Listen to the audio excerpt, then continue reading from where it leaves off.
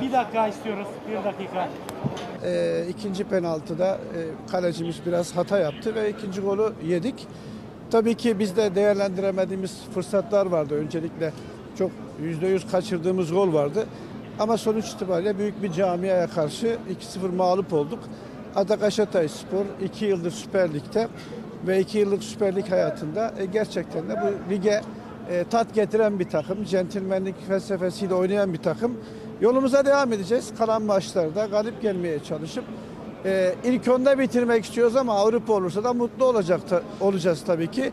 Biz e, takımımızdan memnunuz. E, çok e, nasıl söyleyeyim mütevazi bir kadroyuz. Ekonomik anlamda da e, Hatay olarak da bu mütevazi kadromuzla bugünler buraya kadar gelmek tabii ki bizi çok mutlu etti ama bundan sonraki 12 maçtaki performansımız ligdeki yerimizi e, belirleyecek.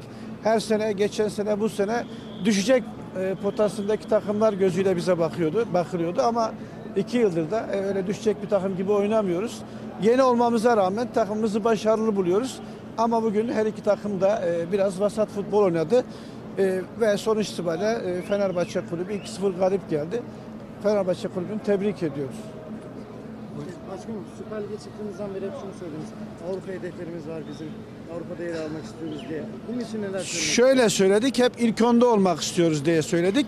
Ama Avrupa olursa mutlu olacağız demiştik. Daha lig bitmiş değil, 12 maç var. Geçen sene ilk 5'e girseydik e, giriyorduk. 6. olduk son iki maçtaki talihsizliklerle.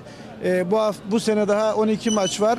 E, tabii ki ilk e, hedefimiz ilk onda bitirmek ama Avrupa olursa tabii ki mutlu olacağız. Başkanım, e, gerçi hakemler hakkında konuşmak istemiyorum dediniz ama ilk penaltı ile ilgili bir itirazınız mı var? İkinci penaltıda çünkü kaleci hatası diye belirttiniz. Yok ikinci penaltıda e, penaltıda hiçbir sıkıntı yok ama birinci penaltıyı hakem hocalarımız değerlendirsin akşama. Sizler de ona göre yorum yaparsınız. Biz hakemlerle ilgili konuşmuyoruz. O konuda yorum yapmak istemiyorum. Ama onu hakem hocaları akşama değerlendirsin diyorum. Peki. Çok sağ olun. Teşekkür ediyorum. İyi akşamlar Sağ olun arkadaşlar. Sağ olun. Teşekkür.